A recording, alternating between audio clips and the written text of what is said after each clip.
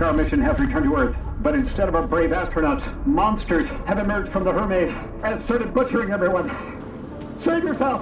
These are not the Scar members we knew! They turned into flesh-eating monsters! They will devour us all!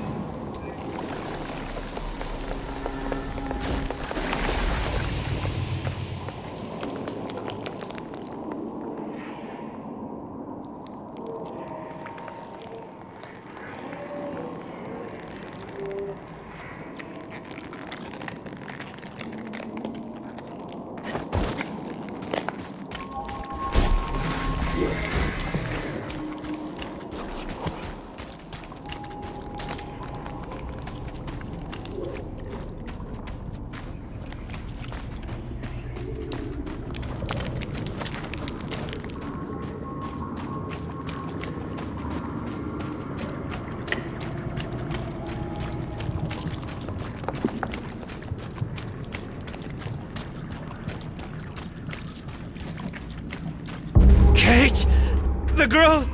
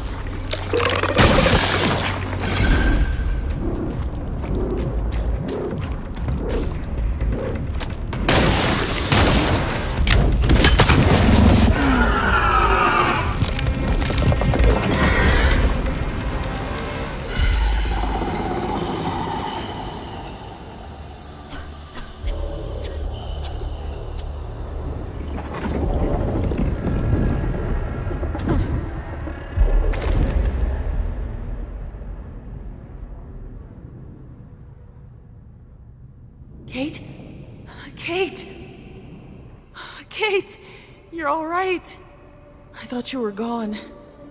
Again. Tamara?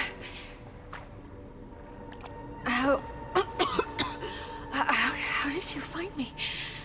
Took me quite a while to get down. That was a nasty drop. I just followed the trail of monster corpses until I detected your signal. That monster... It produced some kind of hallucinogenic gas. I thought it was Mike. I thought... Hey, you did it. You stopped it, whatever it was. We'll use that monolith. It's our way back to the Hermes. Can you operate it? No, but as I said, I have some help. I'll explain everything when we get back. I just hope Mike will be okay. Me too.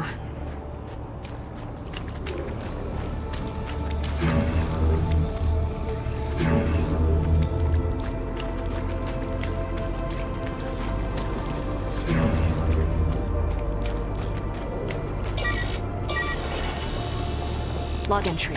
The creature secretes a hallucinogenic neural substance directly into the air around it. This explains why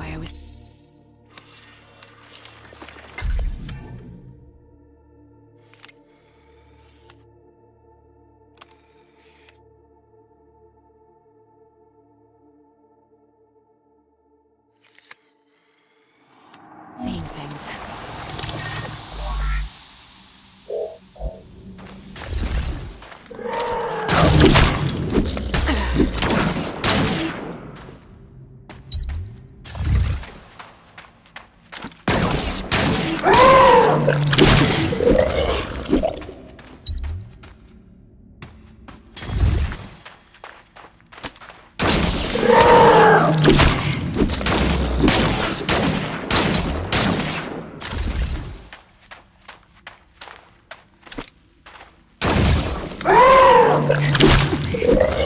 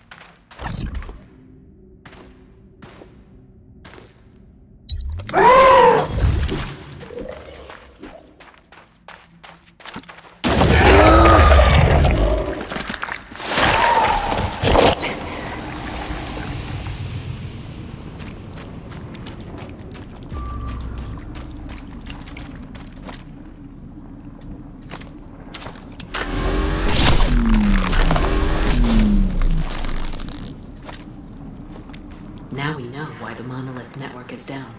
The organic bile that originated from the creature blocked one of them. Clearing it up should allow me to reactivate the network. I'm on it.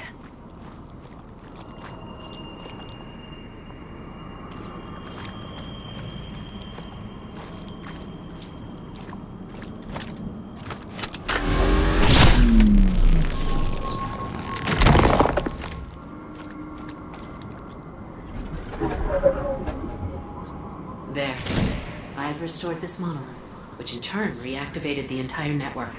You can now use it to transport us all back to your vessel. Okay, let's try this.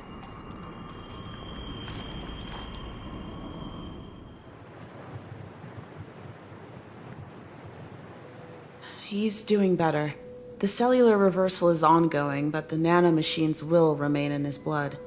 They are one alien signal away from switching back into mutation mode. So, let me get this straight.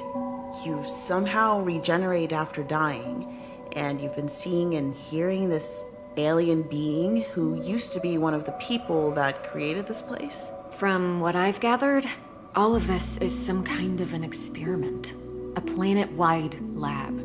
It manipulates genes of living things, creates permutations, in hopes of finding something called the Code of Life. Basically, some sort of secret message hidden in genes, connecting all living things in the universe. That's. I believe whoa is the proper term. Whoa, indeed. But the experiment was hijacked by this entity they call the Custodian. The creepy voice we heard in the alien installation? Yes. Started experimenting on the alien scientists themselves. Some of the monsters we encountered, they used to be people. That is horrible. It still wasn't enough to unlock the code, so the custodian, he reached out across space to find new specimens. Us. Us.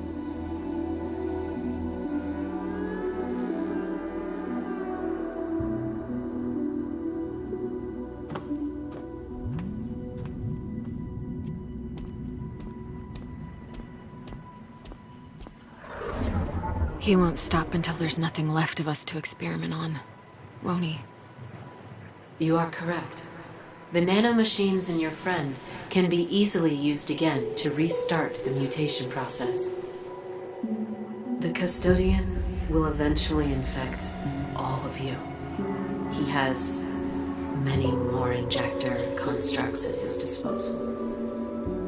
And after he's done with us, he'll go back to Earth for more humans. It is likely. You're just his initial batch. A trial run. Now that he's confirmed you're compatible, after he's done with you, he will likely seek out more of your kind. We must end him. Agreed.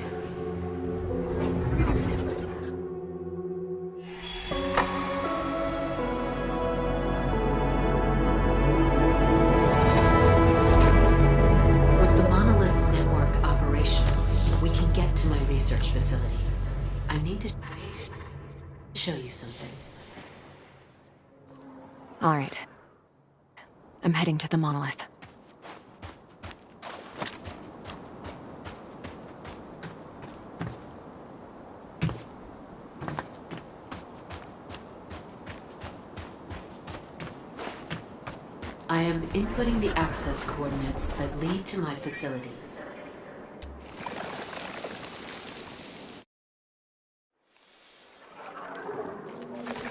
My facility is nearby.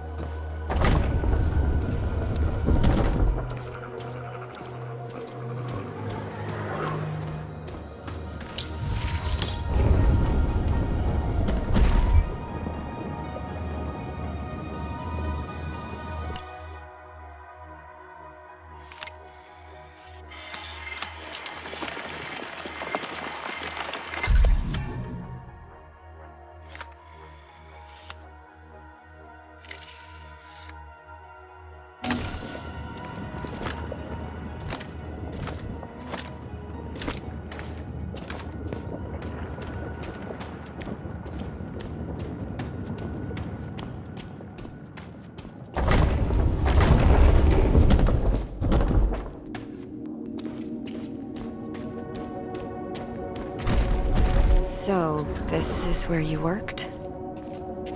Genetic data processing.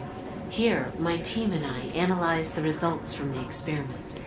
We tried to assemble the pieces of the code and unlock its secret. This is what I wanted to show you.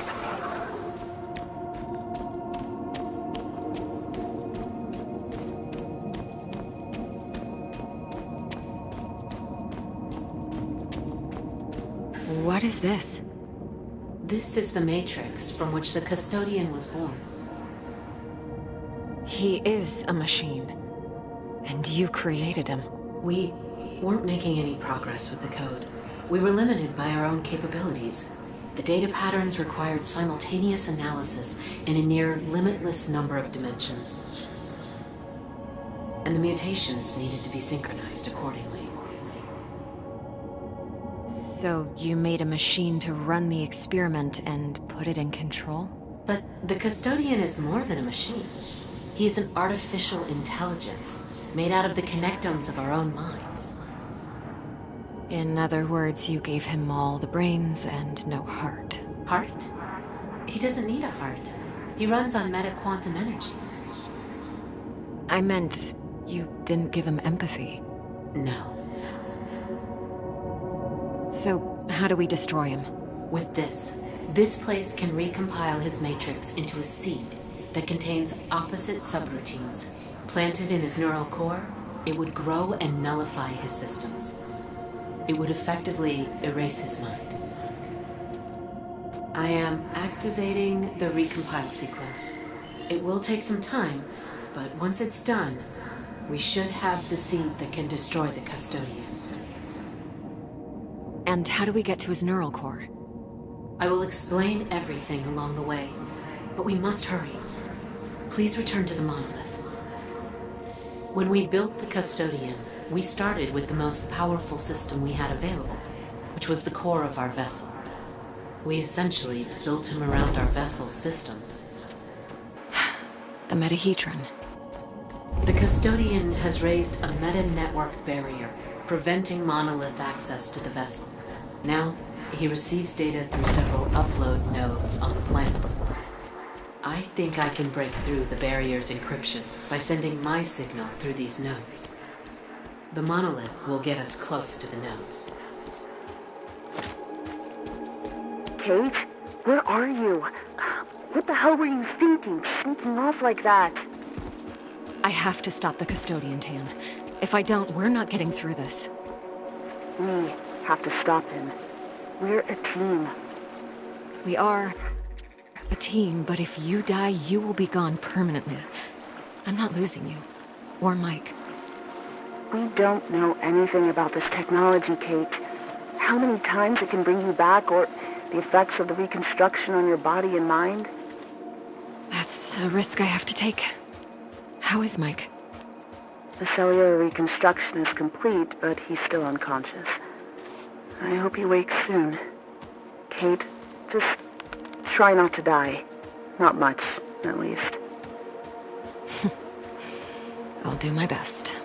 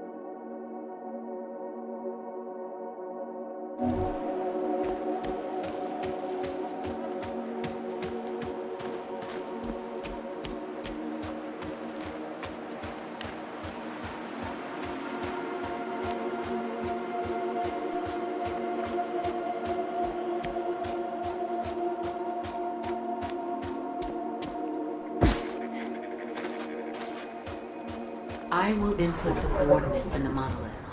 There are three upload nodes you need to get me close to. You can choose them in any order you prefer.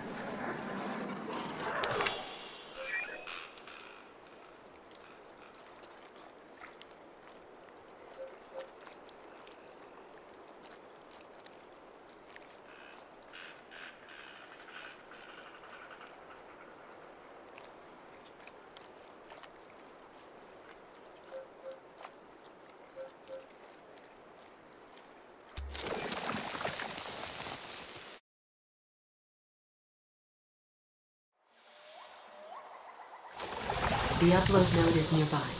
I'm sending you the location.